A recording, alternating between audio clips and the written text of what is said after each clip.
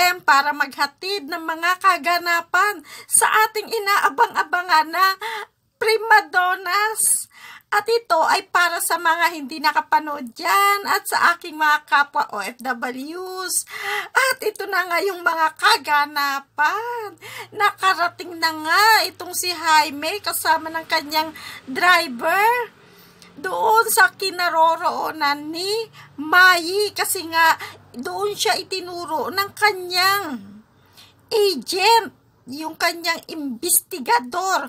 At ang nagturo doon sa investigador ay yung magbabalot.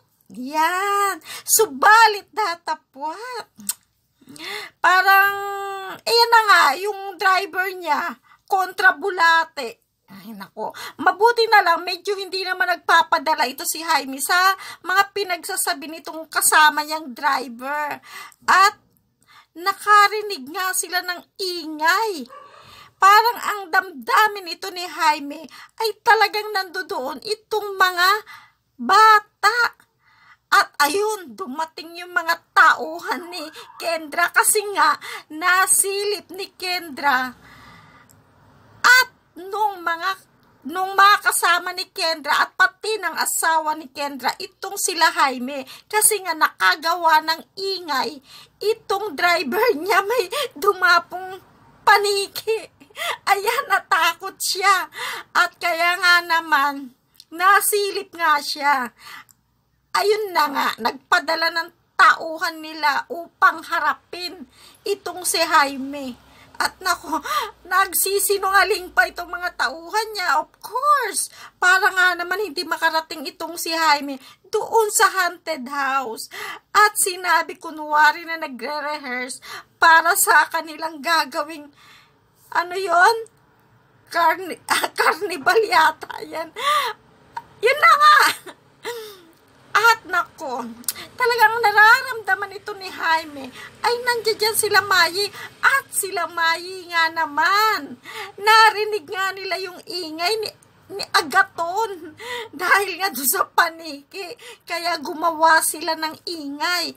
At nako ito ngang si ano eh si Lilian, nagkaroon na nga siya ng pagkakataon na pwedeng gumawa siya ng ingay. Di ba dati, sa klolo, sa klolo, yung tulungan, tulungan, yung lagi ang sinisigaw niya. Subalit, nung nagkataon naman nandoon si Jaime, hindi man lang siya nakagawa ng ingay upang sa ganun marinig siya ni Jaime at ni Agaton.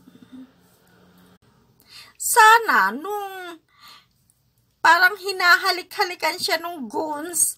'Di ba? Di sumigaw sana siya. Nagkataon nga na nakalayo siya ng konti. Sana doon man lang nakagawa siya ng ingay. Sa bagay, hindi niya nga naman alam na nandoon si Jaime.